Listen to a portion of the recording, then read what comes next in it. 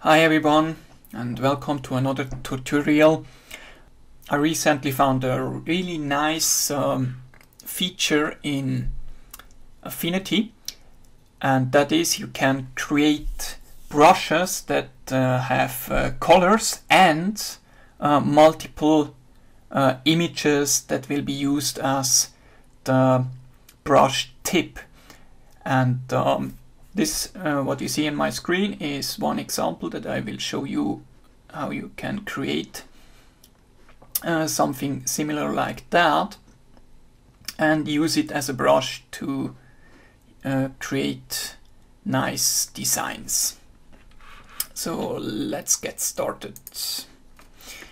I already created the images that will be feathers in my case that I will use for creating my brush.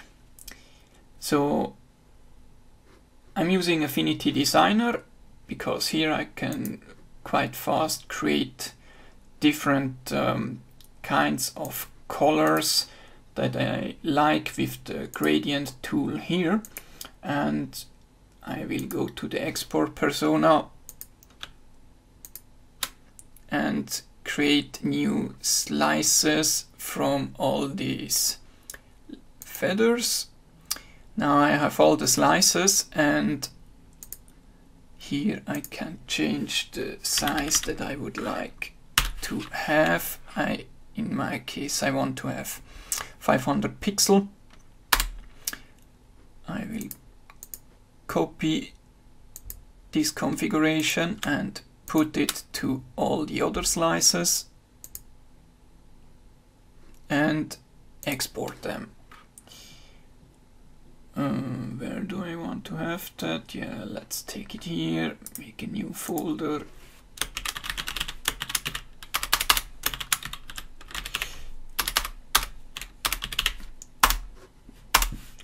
Good, export. Now sh we should have the images. Let's go back to the now let's go to the pixel persona because we will create a pixel brush. Then we have to have the brush panel open that you can open by view studio brushes. I already have it open here.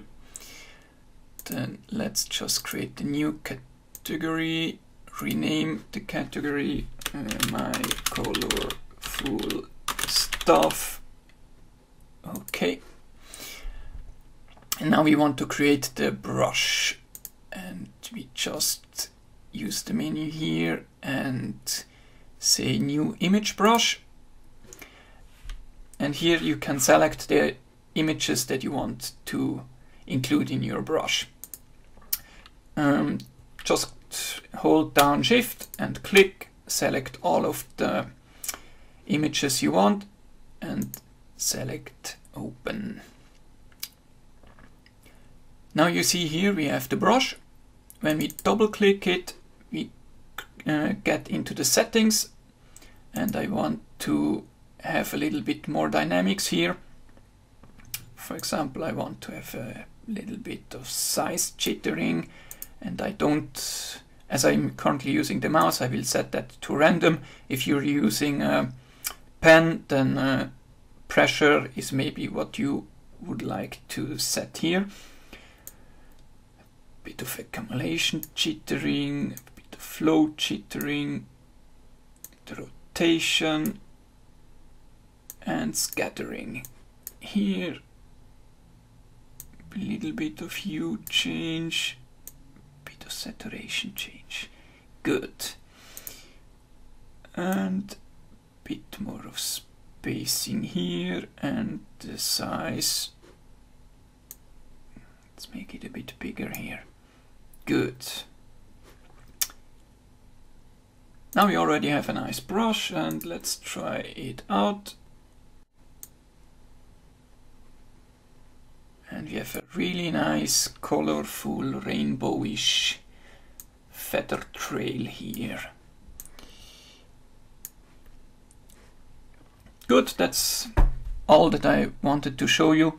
I just thought that's a really nice feature of Affinity and wanted to share that with you.